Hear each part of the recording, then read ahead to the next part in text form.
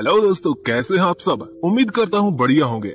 आज के वीडियो में बात करने वाले हैं साइबर सिटी गुरुग्राम की, जो नॉर्थ इंडिया का काफ़ी महत्वपूर्ण शहर है। ये शहर नेशनल कैपिटल रीजन यानी एनसीआर का हिस्सा है। ये शहर दिल्ली के आसपास सबसे ज़्यादा डेवलप्ड सैटेलाइट सिटी है। ये शहर समुद्र तल से 217 मीटर की ऊंचाई पर 732 वर्ग किलोमीटर के क्षेत्रफल में फैला हुआ है।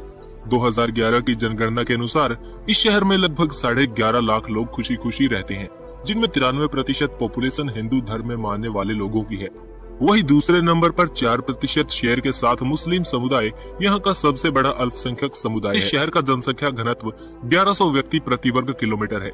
इस शहर में उच्च स्तरीय मानव विकास सूचकांक पाया जाता है जिसे रहने के मामले में भारत के बेहतरीन शहरों की लिस्ट में शामिल करता है।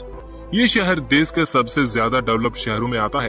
जहाँ पर देश की दूसरी सबसे बड़ी आईटी इंडस्ट्री मौजूद है। ये शहर मेडिकल सुविधाओं के लिए भी दुनिया भर में मशहूर है, जहाँ पे ढेर सारे वर्ल्ड क्लास हॉस्पिटल्स मौजूद हैं। देश के दूरस्थ हिस्सों से और दुनिया के कई देशों के लोग गुरुग्राम में अपना इलाज करवाने आते हैं। ये शहर हज़ारों स्टार्टअप्स और बड़ी कंपनियों का घर माना जाता है। ये शहर हरियाणा राज्य में हर साल काफ़ी बड़ी इन्वेस्टमेंट को अट्रैक्ट करता है। हरियाणा राज्य में होने वाली कुल इन्वेस्टमेंट का 70 प्रतिशत हिस्सा केवल गुड़गांव में ही आता है। गुरुग्राम के नाम से भले ही एक गाँव लगता हो लेकिन यह भारत के सबसे मॉडर्न सिटीज़ की लिस्ट में आता है। यहाँ पर हज़ारों की संख्या में लंबी इमारतें, बड़े पार्क मौजूद है। उम्मीद है आपको ये शहर पसंद आया होगा। Thanks for watching state